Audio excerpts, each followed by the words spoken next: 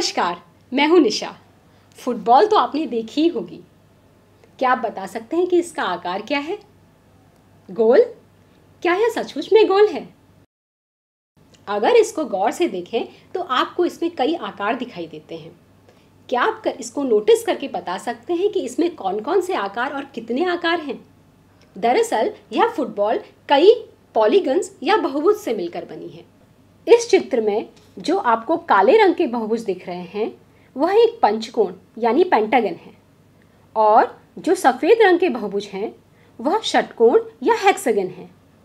एक पेंटागन की प्रत्येक भुजाओं पर एक हेक्सागन मौजूद है। इस प्रकार पूरी सतह पर 12 पेंटागन और 20 हेक्सागन्स मौजूद हैं। कुल मिलाकर इसमें 32 सतह या फेसेस हैं। गणित की भाषा में इस तरह की आकृति को ट्रंकेटेड आइकोसा आइकोसाहेड्रन कहते हैं। तो अब जानते हैं कि ट्रंकेटेड आइकोसाहेड्रन क्या है और कैसे बनता है। दरअसल ट्रंकेटेड का मतलब होता है काटना। ट्रंकेटेड आइकोसा आइकोसाहेड्रन को इस आइकोसा आइकोसाहेड्रन नाम के आकार को काटकर बनाया जाता है। इसमें 20 संबाहु त्रिभुज वाले फेसेस हैं और इसके वर्टेक्स में पाँच संबाहु त्रिभुज आकर मिल रहे हैं। जब इसके वर्टेक्स को एक तिहाई काटा जाता है तो इस स्थान पर एक पंचभुज, यानी पेंटागन मिलता है। और इक्विलेटरल ट्राइंगल के इस सतह का बचा हुआ भाग हेक्सागन के आकार का बन जाता है। इस तरह इसमें 12 पेंटागन और 20 हेक्सागन मिल जाते हैं। इस तरह आइकोसाहेड्रन को काटकर जो नई आकृति बनती है, उसे ट्रंकेटेड आइकोसाहेड्रन कहते हैं। कार्बन के एक अप्रूव सी सिक्सटी की संरचना भी यही है। इसको खोजने वाले वैज्ञानिकों ने पाया कि इसकी संरचना एक आर्किटेक्ट बक मिनिस्टर फुलर के द्वारा बनाए गए जियोडेसिक डोम के समान है और इसीलिए इसका नाम बक मिनिस्टर फुलरेन रख दिया गया। और इसकी संरचना फुटबॉल के भी समान है और इसीलिए इसको बकी बॉल भी कहते हैं। इस फुलरीन की संरचना में कार्बन के 60 एटम 12 पेंटागन्स और 20 हेक्सागन से बने ट्रंकेटेड आइकोसाहेड्रन के आकार में व्यवस्थित रहते हैं। अब तक हमने एक आइकोसाहेड्रन सॉलिड के ही बारे में जाना। इसके अलावा टेट्राहेड्रन, क्यूब, डोडेकाहेड्रन और ऑक्टाहेड्रन भी इसी श्रेणी के सॉलिड्स हैं। पहली बार एक महान दार्शनिक प्लेटो ने इनका विस्तार से वर्णन किया था और उन्हीं के नाम से इन्हें प्लेटोनिक सॉलिड्स कहते हैं। तो अब हम प्लेटोनिक सॉलिड्स के बारे में चर्चा करेंगे और जांचेंगे और परखेंगे कि यह पाँच ही क्यों होते हैं। तो चलिए सबसे पहले लिंक में दिए गए टेम्पलेट्स को डाउनलोड करके चार्ट पेपर में चिपका लीजिए और काट लीजिए। तो टेम्पलेट्स की सहायता से सभी पाँच सॉलिड बना लेते हैं और फिर इन पर चर्चा करेंगे। तो हमारे पाँचों प्लेटोनिक सॉलिड्स बनकर तैयार हैं। पहला प्लेटोनिक सॉलिड टेट्राहेड्रन है। टेट्रा माने चार और हेड्रा माने फेसेस इसका मतलब है इसमें चार ट्राइंगुलर फेसेस है। टेट्राहेड्रन चार संबाहु त्रिभुज या इक्विलेटरल ट्राइंगल से बना है और हर एक वर्टेक्स में तीन ट्राइंगल मिलते हैं। यदि हम वर्टेक्स में संबाहु त्रिभुज की संख्या चार कर दें तो हमें ऑक्टाहेड्रन मिलता है, जिसमें कुल आठ फेसेस हैं जो संबाहु त्रिभुज हैं और कुल छः वर्टेक्स हैं। अब हम हर एक वर्टेक्स में एक और संबाहु त्रिभुज जोड़ दें तो आप देखेंगे कि हमें आइकोसाहेड्रन मिल जाता है। आइकोसा का मतलब है बीस, यानी कि इसमें बीस संबाहु त्रिभुज वाले फेसेस होते हैं और इनमें कुल बारह वर्टेक्स होते हैं। अब यदि हम वर्टेक्स में एक और त्रिभुज बढ़ा दें तो क्या अब भी हमें कोई बंद संरचना या क्लोज स्ट्रक्चर मिलेगा?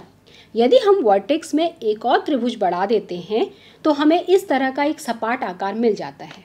यानी कि अब इन त्रिभुजों से एक बंद संरचना मिलना संभव ही नहीं है। यानी कि हम कह सकते हैं कि इन त्रिभुजों से केवल तीन प्लेटोनिक सॉलिड टेट्राहेड्रन ऑक्टाहेड्रन और आइकोसाहेड्रन ही संभव हैं। चलिए इस त्रिभुज में समान माप का एक और साइड जोड़ देते हैं तो यह स्क्वायर मिल जाता है। और हर एक वर्टेक्स में समान माप के स्क्वायर जोड़ देने से यह क्यूब मिल जाता है। क्योंकि इस क्यूब में समान माप के छः स्क्वायर्स वाले फेसेस हैं, इसीलिए इस क्यूब को हेक्साहेड्रन भी कहते हैं।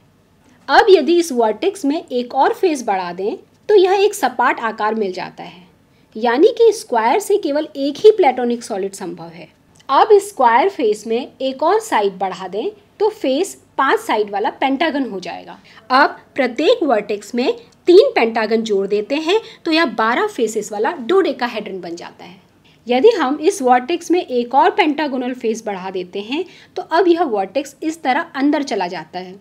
अब यह प्लेटोनिक सॉलिड नहीं रह गया, क्योंकि यह एक कॉन्वेक्स स्ट्रक्चर नहीं है। प्लेटोनिक सॉलिड एक कॉन्वेक्स संरचना है, इसका मतलब है कि इसकी सतह के किसी भी दो बिंदुओं को मिलाने वाली रेखा इस संरचना के भीतर से ही होकर जाएगी, जबकि कॉन्केव संरचना में कम से कम दो बिंदुओं को मिलाने वाली रेखा इस संरचना के बाहर से जाती पेंटागन में एक और साइड बढ़ा देते हैं तो हेक्सागन बन जाता है। और अब इन हेक्सागन से एक बंद संरचना बनाने की कोशिश करते हैं तो यह दो से तो नहीं बनेगी। और अब तीन हेक्सागन जोड़कर देखें तो यह एक सपाट आकार बन जाता है। यानी कि केवल हेक्सागन से एक बंद संरचना बनना तो संभव ही नहीं है। तो चलिए, अब कागज़ की अपनी एक फुटबॉल बना लेते हैं। इसके लिए लिंक में दिए गए टेम्पलेट्स को डाउनलोड करके एक चार्ट पेपर में चिपका लेते हैं और उनको काट लेते हैं। और अब इन्हें इस तरह जोड़ना शुरू कर देते हैं कि प्रत्येक पेंटागन की पाँचों साइड्स में पाँच हेक्सागन जुड़ें और हर एक वर्टेक्स में दो हेक्सागन और एक पेंटागन मिलें। तो देखिए, बन गई हमारी कागज़ की फुटबॉल अब एक और एक्टिविटी करते हैं, जिसमें पेपर स्ट्रॉ और कनेक्टर की मदद से यह ट्रंकेटेड आइकोसाहेड्रन यानी कि फुटबॉल की आकृति बना लेते हैं। कनेक्टर बनाने के लिए लिंक में दिए गए टेम्पलेट्स को डाउनलोड करके मोटे चार्ट पेपर पर चिपका कर साठ कनेक्टर काट लेते हैं और पेपर स्ट्रॉ के साढ़े चार सेंटीमीटर लंबे नब्बे टुकड़े काट लेते हैं। साठ कनेक्टर इसीलिए क्योंकि ट्रंकेटेड आइकोसा आइकोसाहेड्रन में साठ वर्टेक्स हैं और 90 पेपर स्ट्रॉ के टुकड़े इसीलिए क्योंकि ट्रंकेटेड आइकोसाहेड्रन में 90 एजेस होती हैं। गिन के देखिएगा। पेपर स्ट्रॉ और पेपर कनेक्टर लेकर इस तरह जोड़ें कि एक पेंटागन बने और इसकी पाँचों साइड्स में पाँच हेक्सागन बने और फिर इसी तरह जोड़ते जाएँ और इस प्रकार आकृति को पूरा करें। तो बन गई है प्यारी सी फुटबॉल और अगर इन वर्टिसेस में कार्बन आइटम रख दें तो यह फुलरिन भी है।